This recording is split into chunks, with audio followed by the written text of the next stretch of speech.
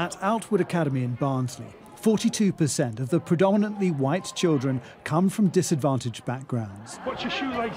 And educators here are unsurprised by the findings that the academic performance of white working class children is low compared to poor children from other ethnicities.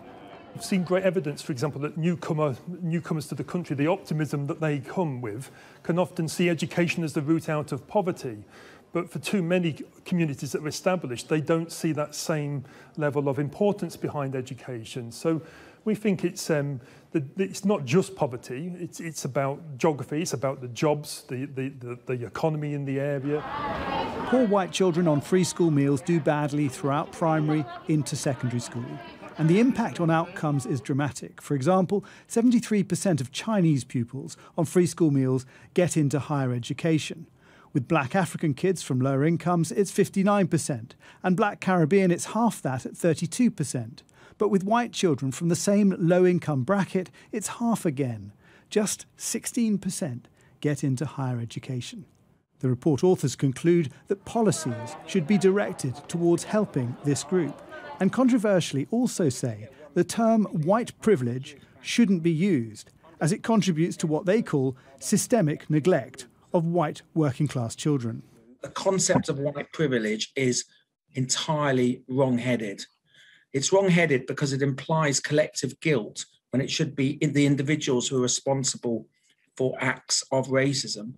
You're really saying to the single parent who might live in a small bedsit in a, uh, in a, in a flat in my constituency of Harlow that she automatically is uh, someone of white privilege. I mean, this is why this has got to be stopped. But others argue that the issues facing ethnic groups shouldn't even be a factor in the question of how to lift the attainment of white schoolchildren. It seems more like a culture war bomb than an actual desire to create betterment within our society. For example, white working class people are not an ethnic group.